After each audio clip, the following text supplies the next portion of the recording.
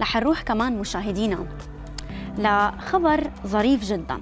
رح نقدم لكم اليوم بفقرة spot فرص عمل ومجالات مختلفة.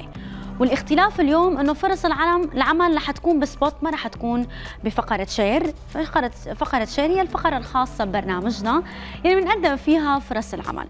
فرص العمل المطروحة للأشخاص اللي عم بدوروا على شغل طرحها نصر الحريري بتغريدة على تويتر ورئيس هيئة التفاوض وقال بهالتغريدة إخوتي وأحبتي الأكارم نحن بحاجة لعدد من الخبراء والاستشاريين والإداريين بمواضيع مختلفة علوم سياسية قانون قانون دولي ودستوري أيضا علاقات دولية اقتصاد حقوق إنسان ومعتقلين الحكم الانتقالي والبيئة الآمنة والمحايدة الانتخابات وإعلام. هالتغريدة أثارت سخرية كتير كبيرة على مواقع التواصل الاجتماعي للطريقة اللي كان عم يطلب فيها الحريري موظفين بهالاختصاصات عبر ال social media. وكمان كان تساءل آه، السوريين عن إنه شو كنت عم تعمل أو شو كانت عم تعمل المعارضة السياسية طوال هالسنين. إذا هلأ أنتم عم تدوروا عن استشاريين بأمور سياسية ودولية وقانونية. خلونا نشوف بعض التعليقات اللي ردت على نصر الحريري بطريقة ساخره بخصوص هالموضوع. رح نبدأ مع فارس. فارس الفارس قال أستاذ نصر. إذا مستعجل كثير في عندي طقم تفاوض كامل ألماني المنشأ نص عمر وبحالة جيدة ويصلح لكثير من المناسبات وقابل للشحن والتفريغ. ملاحظة السعر قابل للتفاوض أيضا خلينا نشوف غسان. غسان قال دكتور نصر. لك عندي حلاق عاطل عن العمل وعنده خبرة القانون الدولي بالقصات وآخر صيحات لك اللحية.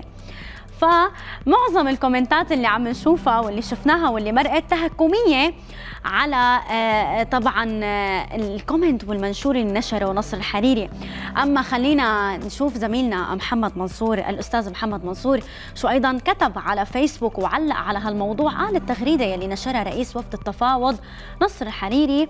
وعم يطلب فيها خبراء واستشاريين بمجالات العلوم السياسية والقانون والقانون الدولي والدستوري وعلاقات دولية وحقوق إنسان ومعتقلين والحكم الانتقالي والبيئة الآمنة والمحايدة واقتصاد وانتخابات وإعلام هاي التغريدة كارثة حقيقية. إذا صار لكم سبع سنين عم تتفاوضوا وتحضروا مؤتمرات وتشكلوا لجان وتحكوا باسم الثورة وما عندكم خبراء واستشاريين تفهم بكل هالمجالات والاختصاصات معناها مين يعني مين كنتوا آخذين معكم وشو كنتوا عم بتهببوا ومين هدول اللي رايحين جايين وعم يتصوروا ويعطوا تصريحات إذا ما كانوا اختصاصيين عم بيغطوا كل هالمجالات. هذا اعتراف صريح إنكم شو كنتوا عم تعملوا يا ترى؟ شو يا ربي؟ شو؟ أيضا كمان خلينا نشوف بعض التغريدات عنا محمود الدلال. محمود دلال قال لو طالب اختصاص واحد كان الواحد بيسكت بس هيك معناها مالهم غير القائد الخالد المعلم الأول بكل هالشغلات.